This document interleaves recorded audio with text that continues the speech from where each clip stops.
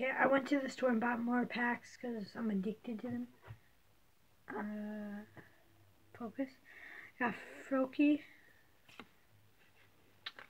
Lollipop. Then that thing. For candy. So, let's open this other pack.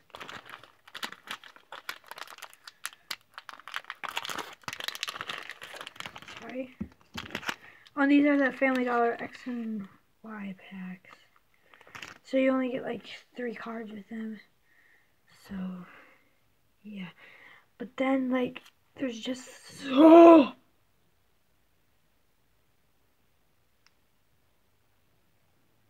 I... I didn't even know that you could pull...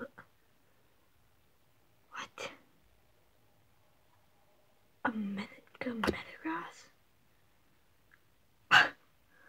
I did not know that you could pull that. Jeez. And a trainer. But look at that. Sorry. Move this. That is sick. Well, that's definitely going in the book. Um, let me find this card. I've been waiting for a pretty good card, so.